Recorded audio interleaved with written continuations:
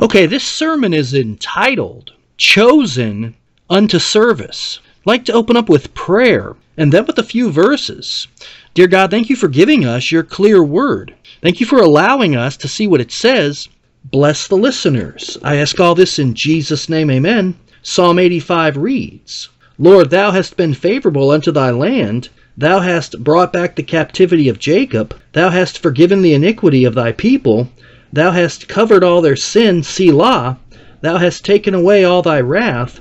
Thou hast turned thyself from the fierceness of thine anger. Now, the Bible teaches that God chooses people, but this is not Calvinism, and He does not choose people unto salvation because that would make God a respecter of persons, nepotistic, cronyistic, and favoritistic, somebody who plays favorites. And this is the epitome of pride. These stupid, unsaved Calvinists claim that they have nothing to boast about, but if God chose you unto salvation with the exclusion of others, then that's the epitome of bragging rights. And the reason why this is so stupid is because every single person is a sinner. We're all commensurately sinful. So why would God choose some people over others? When everyone is sinful. It makes no sense at all. But the truth is is that the Bible does not teach this fatalistic predestination garbage.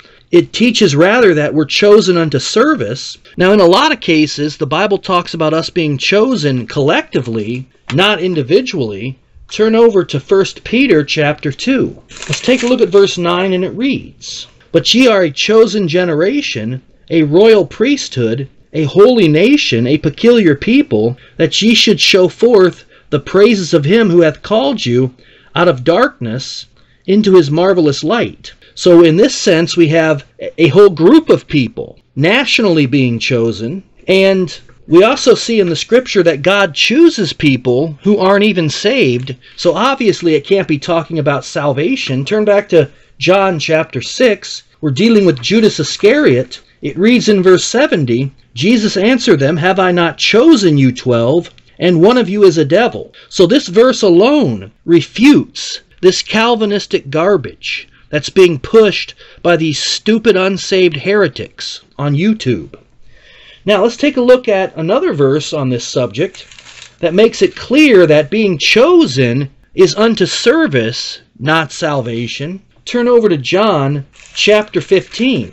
Now, what these stupid Calvinists do is they throw verses at you without even reading them, without giving you any context, without exegeting them, and you don't even have to do that with this particular verse. You just have to read the verse, and you'll see that it's not teaching this double predestinarianism garbage.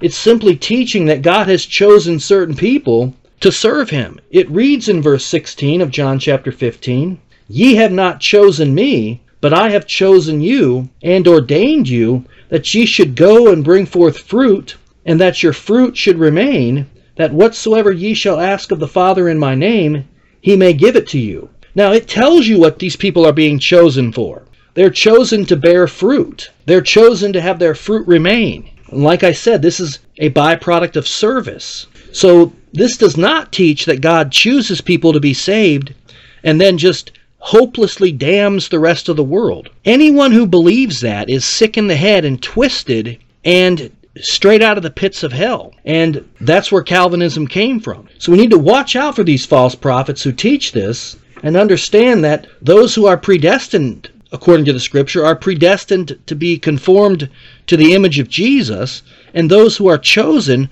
are chosen to bear fruit and have their fruit remain. It's all about service not salvation. That's all I have. Let me go ahead and close in prayer.